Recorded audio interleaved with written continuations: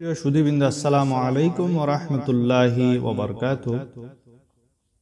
তাহাজ্জুদ নামাজ পড়ার জন্য অনেকে ঘড়ির মধ্যে অ্যালার্ম দিয়ে রাখেন, কিন্তু এরপরও উঠতে পারেন না।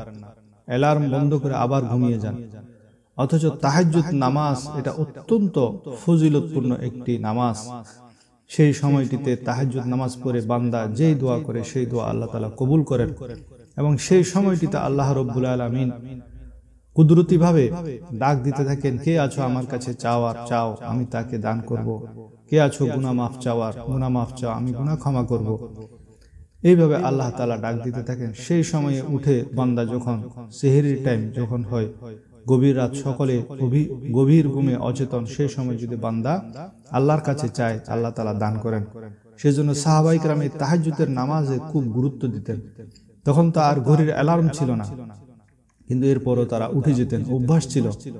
কিন্তু বর্তমান যুগে ওলামাই কালাম একটি ওজিফা দিয়েছেন যারা তাহাজুতের সময় উঠতে পারে না ক্লান্ত হয় ক্লান্ত লাগে উঠার কোনো সুযোগ থাকে না। উঠলেও আবার ঘুমিয়ে পড়ে নামাজ পড়তে পারে না। তাদের জন্য একটা ওজিফা দিয়েছেন সেটি বলব। প্রথমে একটি মোয়াবিয়া রাদি আল্লাহর ঘটনা বলি যিনি তাহাজুতের গুরুত্ব বুঝায় যে ঘটনার মাধ্যমে যে মোয়াবিয়া রাদি আল্লাহ উনার জীবনে একদিন তাহাজুদ কাজা হয়ে গেল। ঘুমের কারণে তিনি জাগ্রত হতে পারলেন না। ফলে তিনি সারা দিন কান্নাকাটি করলেন। আল্লাহ তালা সন্তুষ্ট হয়ে গেলেন ওনার উপর। পরের দিন রাতে ওনাকে কেহ একজন এসে ডাকতে আরম্ভ করল। তিনি জাগ্রত হয়ে গেলেন, তখনও কিন্তু তাহাজুতের সময় হয়নি। তো তিনি তাকে জিজ্ঞেস করলেন, আপনি কে? সে বলল, আমি ইবলিস, আপনাকে তাহাজুদ পড়ার জন্য ডাকতে এসেছে। তখন মোয়াবিয়া রাজি আল্লাহ তাকে জিজ্ঞেস করলেন, আপনি কেন ডাকতে ডাকতে এসেছেন? আপনার কাজ তো সেটা নয়। আপনার কাজ তো হলো যখন কেউ তাহাজুদের সময় তাকে আরও ভালো করে ঘুম পাড়ানো যাতে সে উঠতে না পারে। তখন ইবলিস বলল যে গত রাত্রে আপনি যে তাহাজুদ পড়তে উঠতে পারেন নাই যার ফলে আপনি সারাদিন কেঁদেছেন এবং সারাদিনই নফল এবাদত কাটিয়েছেন যার ফলে আল্লাহ তালা আপনাকে তাহাজুদের চাইতে বেশি সবাব দান করেছেন।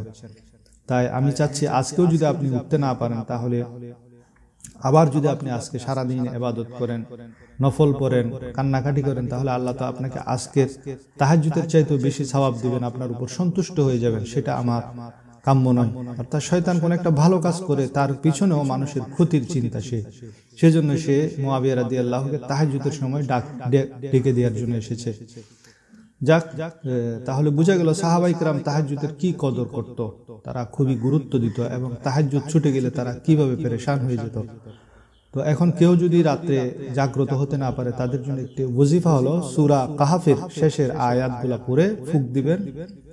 সেটি হলো আউজুবিল্লাহি শাইতানির রাজিম।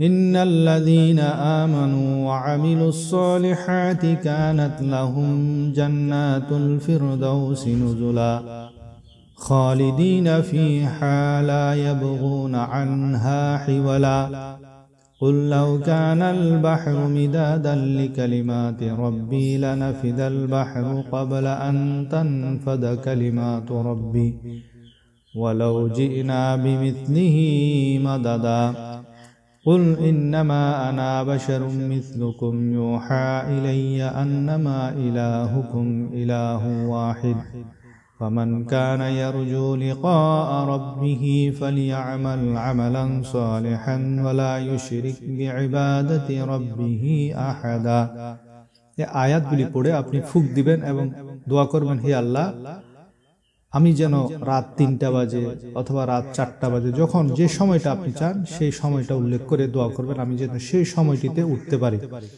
দেখবেন আপনি ঠিক সেই সময়টিতে আপনার চোখ খুলে গেছে। এটা অসংখ্য ওলামাইকরাম অসংখ্য তোলাবাই তোলাবাইকরাম এই আমলটি করে তারা পরীক্ষা করে দেখেছে এবং এটা সেই সময়টিতে তারা কি হয়েছে? সেই সময়টিতে তারা জাগ্রত হয়েছে। সুতরাং যারা তাহাজুত করার জন্য বেশি আগ্রহী তারা এ কোরআনের আয়াতগুলা পড়ে ফুক দিয়ে শুয়ে যাবেন। ইনশাল্লাহ যথাসময়ে আল্লাহ তালা আপনার উঠার তৌফিক দান করবেন।